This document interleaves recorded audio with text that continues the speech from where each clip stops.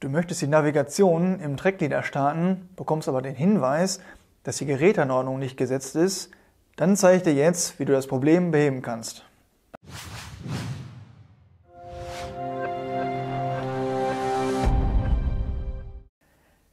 Wenn wir im Trackleader den Hinweis auf die fehlende Geräteanordnung bekommen, bestätigen wir diesen und gehen zuerst in den Isobus TC auf Geräte. Oben rechts finden wir das Symbol, um die Geräteanordnung zu verwalten.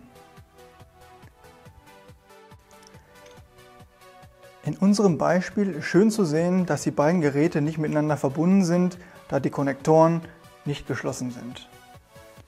Um die Geräteanordnung nun zu setzen, klicken wir auf die Konnektoren und wählen für unsere beiden Geräte die entsprechenden Konnektorpunkte aus. Starten mit dem Traktor.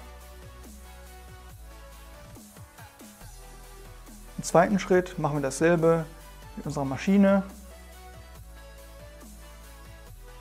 und verlassen dieses Menü. Damit die Einstellungen endgültig gespeichert werden, gehen wir mit dem Pfeil oben rechts zurück, bestätigen die Meldung und die Geräteanordnung ist nun gespeichert und gesetzt. Jetzt können wir wieder in unseren Trackleader gehen und die Navigation starten. Ich hoffe, ich konnte dir mit diesem Video bei deinem Problem weiterhelfen.